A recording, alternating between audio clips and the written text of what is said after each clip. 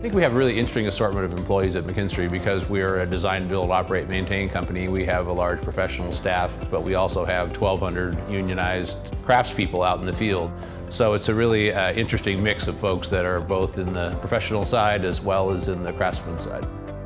My name is Heather Helgen and I am a construction services manager. So I've been at McKinstry 10 years and I've progressed kind of a normal pathway from a construction management degree to a project engineer, a project manager, and now I'm managing the group. I knew that I wanted to go to college and I knew that I wanted to stay local. I ended up getting an internship um, in a local firm to kind of see if I liked the industry and really enjoyed that summer internship and ended up then looking into the construction management department from there. My name is Brandon Chihara. I am the shop project manager for McKinstry. I've been here for one year. I had some knowledge of the uh, industry, but not a whole lot. I had a summer internship uh, during my junior year in college and uh, loved it since.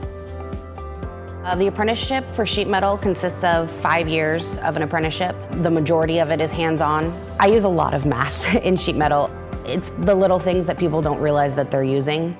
There's a lot of decimals, a lot of fractions. It is pretty basic math, but there is a lot of math.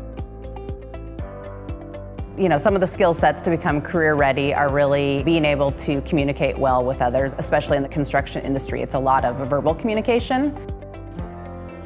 I think to be a good project manager, it's time management, communication, and I think a lot of it is experienced in college with all the classes and all the studies and all the tests you need to prepare for.